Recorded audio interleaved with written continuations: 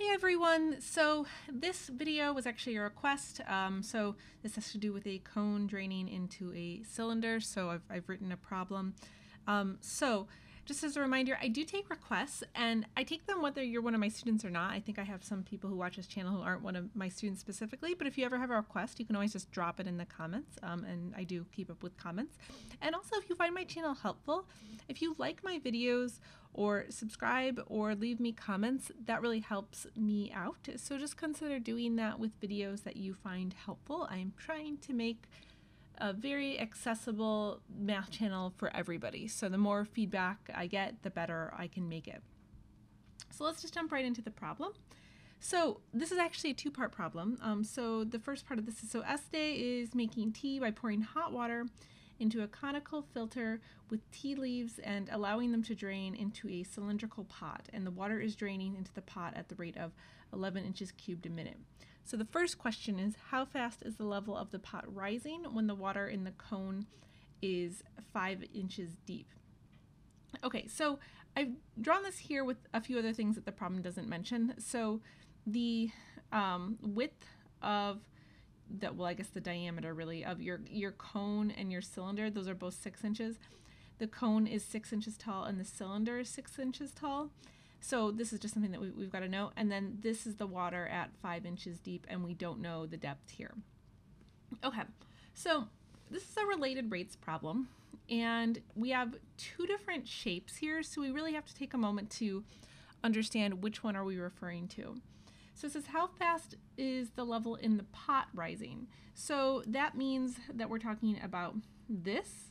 So this is a cylinder so we have to know really the equation of the cylinder then to kind of figure this out. So the volume of a cylinder can be found by pi r squared h. Okay, so that's part one of this.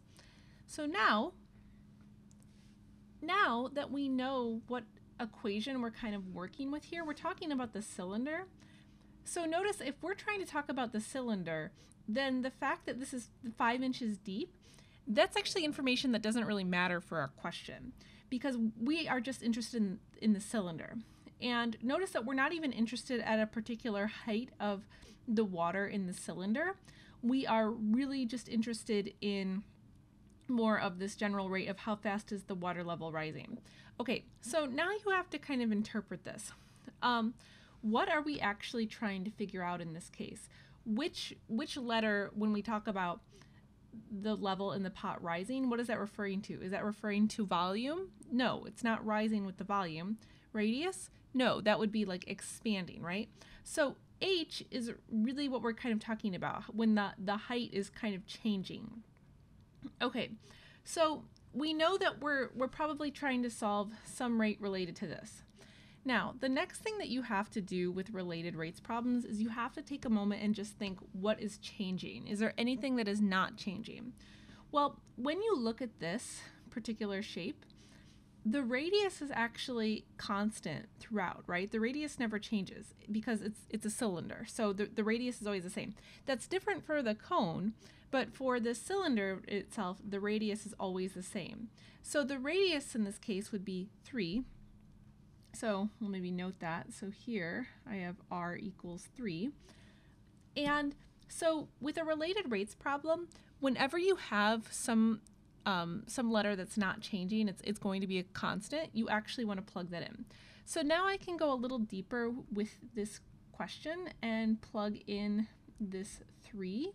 So here is kind of the situation I have for this problem. Okay, so the rest of this is changing, right? The height is changing, and because the height is changing, the volume is also going to be changing.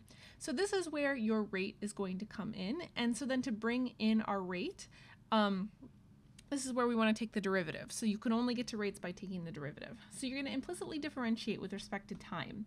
And how do you know you're going to differentiate with respect to time? Well, look at this rate here. This is a rate with respect to time. So if I take the derivative of v with respect to time, that will be dv dt. And then all I have to do on this side is take the derivative of h, right? That's the only letter that's left. So if I take the derivative of h, this is going to leave me with 9 pi dh dt. Okay, So we're trying to solve really for this dH dt. That's going to be talking about the the um, the how fast the level is rising. Rising. So what do I plug in for dVdt? That's the only way I can solve for this, right? Well, now I go back to the original problem, and so notice it says the water is draining into the pot at this rate. So this is actually the rate that the volume is changing. So now we're we're basically in the home stretch here. So I plug in 11 for dVdt, and then this is 9 pi dH dt, and now I can just solve. So dH dt is going to equal 11 over 9 pi, and so that's equal to 0.389 inches a minute. So that's my dH dt. Okay, so that's part one. Now, part two. How fast is the level in the cone falling? So let me bring back that picture. So this is the situation, but now we're specifically talking about the cone. And so the way that this problem is worded is actually a little bit tricky because in the previous part, they actually gave you some information about the cone. Remember, I'll, I'll circle it here. It says when the cone is five inches. So we might want to just note that. So the, the cone is at five inches. And I know I have it marked here as well, but I, I just want to kind of spell that out so we don't forget it. So now we're talking about the cone. So first things first, let's just write down what the volume of a cone is. So we're going to be working with the formula 1 third pi r squared h. Okay, so now how fast is the water level falling? So we are actually still talking about trying to get to the height here, right? But now there's a problem that is different from the previous one. So in the, the previous problem, our radius was constant, right? So we got to just plug in the 3 in, in for our radius because it wasn't going to change. The problem with this formula is that the radius is constantly changing. So we have to think through what does that mean. So if I try to take the derivative of this as it is, so I, I can't plug in any other numbers because the radius is changing, the height is changing, and the volume is changing. And if I try to take the derivative with respect to r, so just looking through this problem, there is no information about the rate of the radius changing. You see what I'm saying? So what that's telling me is we're, we're just talking about how fast is the water level in the cone falling. We are really trying to solve for a rate related to the height. We have literally no information relating to the radius. So what that means then is that we have to see if we can rewrite r in terms of h. So I want to take a moment to blow up my cone and think about what I know about it. So I know that the height of it is 6 and the radius of it is th 3. So that is the overall height and radius. So I want to see now, can I relate that to kind of what happens as the water level rises? So can I set up some sort of proportion really? So if I were here and here, so we'll, we'll just name whatever this height and radius are, we'll you just use general letters, R over H. So what you've really got here then is you, you've got like um, your, your similar triangles, so you can set up a ratio with this. So I've got R over H is going to equal 3 over 6. And from here, then what I can do is I can solve this for r equals 1 half h. So I just simplified the fraction and I multiplied both sides by h, so I got this. So the reason that I want to do this is, like I said, in the original function, we had no information about what r was at the time, and we, and more specifically, we had no information about like the rate of how r was changing. So that kind of indicates to us then that we want to get rid of the r if we can, which we can. We can make this substitution. So let me just get rid of this cone here. And so now what I'm going to do is I'm going to take this equation here and I'm going to plug it in for my r. So I'm going to rewrite this as v equals 1 third pi 1 half h squared, oops, and I'm running out of room, times h. Okay, so now this is the equation that I'm going to work with. So if I work all of this out, I get 1 third pi times 1 over 4 h squared times h. So my volume formula will be 1 over 12 pi h cubed. Okay, and so now this is what I want. Um, I, I can totally work with this. All right. So let me clear a little space. And so now let's go ahead and take some derivatives. So if I take the derivative of v, that's going to be dv dt equals 1 half pi. So now I take the derivative of h cubed. So that will be, oops, sorry, this is 1 over 12. So this will be 3h squared dh dt, which now if I simplify all of this, I get dv dt equals 1 over 4 pi h squared dh dt. Okay, so pause the video if you just need a second to, to think through all that detail. Make sure that you, you believe all of that. I'm going to make more space again. Okay, and so now, do I have enough information to actually solve this? So we're talking about how fast is the water level in the cone falling. So I'm trying to solve for dH dt. So um, do I know what h is? Yes, I do. It is this 5 inches because we're talking about the moment where the, the water level is at 5 inches. So we can plug in 5 for that.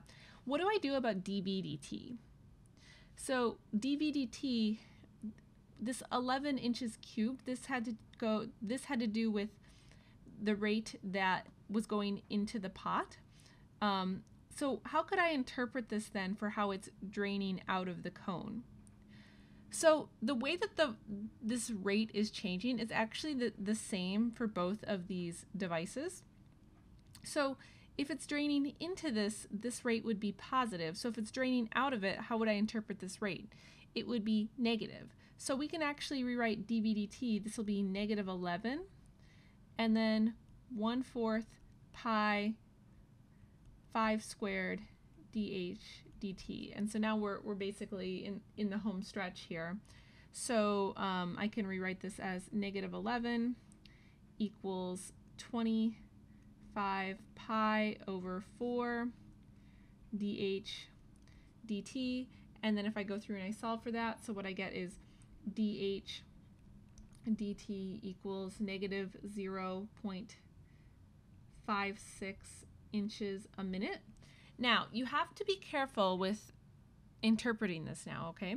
So this is the actual rate. The rate itself is negative, but then if you say how fast is the water level falling, well, falling is a word that indicates that the rate must be negative. Therefore, when you're looking at this, if you're talking about when it's falling, you would say it's falling at 0.56 inches a minute. So maybe I'll just note that.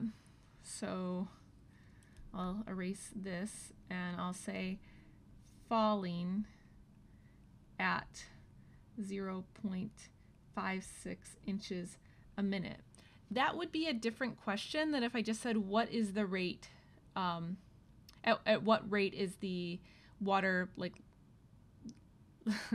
at what rate is like the the water like exiting the cone or maybe what what is sorry the better way to say this sorry i'm totally thinking on the fly here now what is the rate at which the height of the water is changing so if there's no word to indicate that the water is draining out but instead you just ask a general question about what rate is the height changing then you would say that it's negative but if you bring any if you say anything about the water exiting the cone, then it's kind of assumed that it's it's negative in this context because it's draining out of. So hopefully that makes sense. Okay, so that's it for this one. Um, so hopefully that was helpful. Any questions, comments, you know where to leave them. I'll see you guys next time.